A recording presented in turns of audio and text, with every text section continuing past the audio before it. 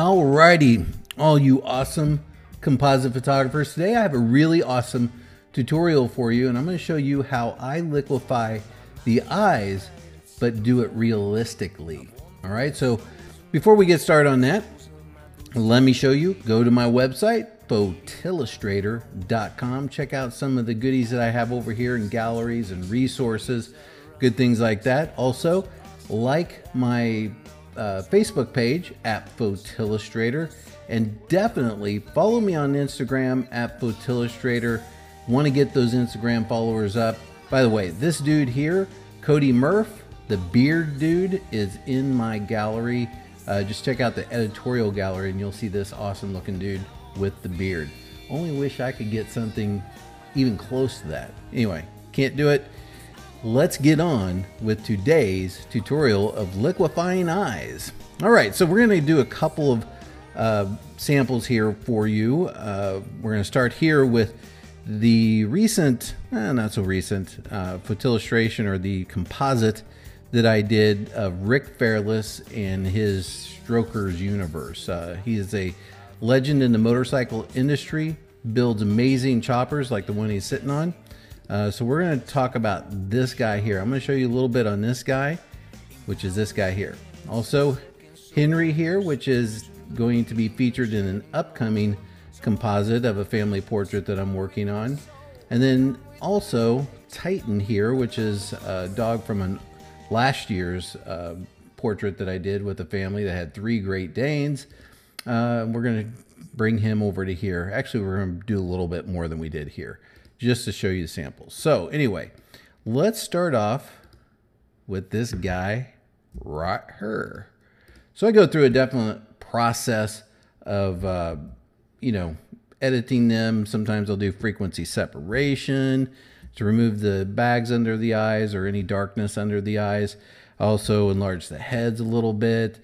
I do a lot of different things to um, before I actually do the liquefying of the eyes. Liquefying of the eyes uh, isn't the first thing I do, but definitely isn't the last thing I do. All right, so let's get into this bad boy right now. So we're gonna go up to uh, filter. We're gonna go to liquefy. This should be a rather quick tutorial today. Of course, none of my tutorials are that quick.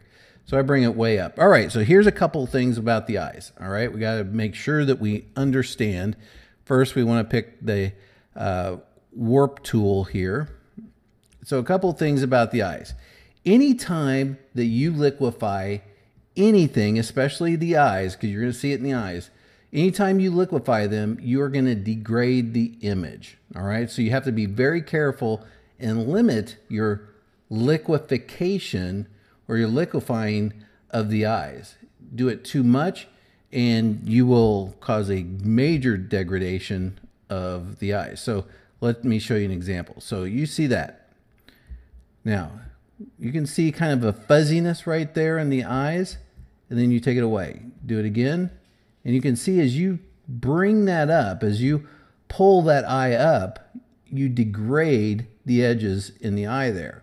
Okay, now that's significant because if we do it too much, we start to get blurry eyes. Now there's some things that we can do at the end to bring sharpness back into the eyes. I'm not going to cover that on this tutorial today. If you're interested, email me, let me know that you're interested, and maybe I'll uh, create something on that. But so you want to make sure that you liquefy minimally. All right. Not only will liquefying minimally reduce the amount of uh, degradation that you get in your image, but it will also add to the realism that you uh, you know create in the expression. So it's all about making sure that we emphasize the expression, but we don't make it unrealistic and we don't degrade the image too much. All right. So with this guy here, what we can see is uh, his eyebrows are going up here on the edges and down here in the middle. All right. So I kind of want to emphasize that. Also, with his mouth here, and I know this is an eyes tutorial, liquefying eyes, but I'm also going to liquefy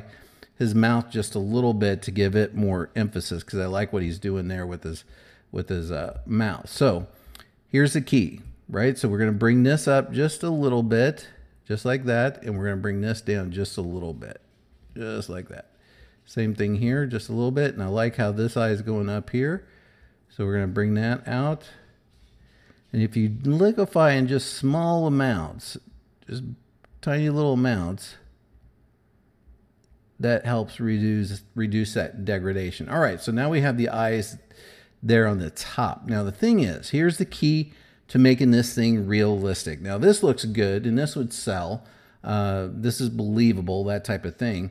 All right, but now we want to make this really realistic. All right, say that three times really fast. Real, realistic, really, realistic. Blah, blah. All right, so anyway, um, the way you do that is anytime that you open your eyes or you tell somebody to uh, raise their eyebrows, if you say big eyes, which is something I always say to clients when I'm working with them on a portrait, I'll, you'll hear me frequently if you're watching a, a photo shoot of mine, big eyes, give me big eyes, big, big, big eyes. You know, I'm always going over big eyes. And so anytime that you ask somebody to make big eyes, you know, where they raise their eyebrows, you can't help but your eyes to open. So that pulls down the lower lid as well. So we also want to pull down this lower lid just a little bit, you know, just a little bit, just like that. All right. Just a little bit, just a little bit, just like that. All right. So that makes his eyes a little bit bigger, even bigger than when I was telling him big eyes. All right. So that emphasizes his eyes. And we're all programmed neurologically to the eyes first and then facial features second. So anytime that you tell somebody to make big eyes or to open their eyes or to raise their eyebrows, you can't help but every other feature in the face to follow suit. So now just real quick on his mouth, I like the way his mouth is, but I think we can make it even better and just emphasize it just a little bit. All right, so you can see that I'm going bigger and smaller on my brush stroke here, just like that. And then I can bring his uh, chin down just a little bit. And you can see every time I do this, it degrades the image just a small little bit. And I want and I don't want my image to be degraded too much.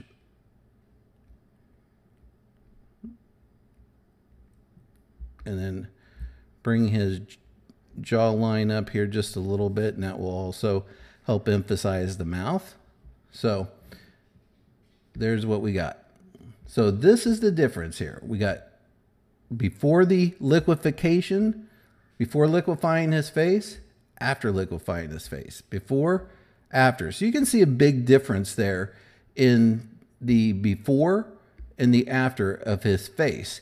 Now at this point, I would cut him out and I would start doing my burn and dodge and my shaping, work on the eyes. And then at the very end, at the very end, after I'd done the, my colorizing and other things, I would also sharpen the eyes back up uh, to make sure that they still look good. Okay. All right. So let's go to Henry here. Henry is a also a, another really good one. So he's got a good big expression on his face. Really doesn't need a lot of liquefying, but we're in the liquefying business today, so we're going to liquefy this bad boy. All right, so we're going to bring him up here. I like bringing the eye or the subject up really close in my frame. So just look at the structure of his eyes here. So we got the structure of his eye here. And it goes up, it peaks out right there above his pupil or his uh, iris there. Same thing there. And then his eyebrow pulls up. His eyebrow pulls up. So we're going to emphasize that. All right. So we can come in here, emphasize his eye just a little bit, bring it up just a little bit. Same thing with the other side, just a little bit. And you don't want to get down into the eye too much. You don't want to drag that up. You want to, if you can keep that sharp, then you're doing a lot better than if we come in here and we just pull the whole thing up like that. That you can see a major degradation in the image right there. So um, just try to make sure that you stay right on the lid there. Okay, so now we're going to do the uh, eyebrows here. Good. Bring that up. Good. And now, because we want to keep this thing realistic, we're going to come down and do right below or the lower lid here. Just like that. Just like that. Cool. Cool. And now we're going to open this way up. We're going to really pull that cheek back and then run it down here just a little bit. And we're going to pull this cheek back. And then we want to bring that back and we want to bring this up just a little bit. Doing these things with the jawline like this or the uh, cheek line like this, a lot of times will emphasize the work that you're doing on the mouth and the eyes. And really, when you're looking at a picture, especially like the ones I do with, with such big characters and expressions on their face, I really want to emphasize the eyes first, the nose, and the mouth. All right. When families look at these, when they look at their portraits, the first thing they always look at are the eyes, the nose, and the mouth, and also hands and feet, if those are showing as well. So that's where I always focus. So that's what we've done there. And so we've got our before and our after. Before, after.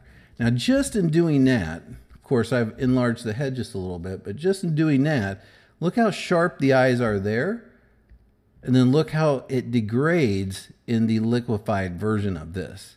So you see a definite degradation. So you want to make sure that you don't overdo it. This might be just tiny bit overdone.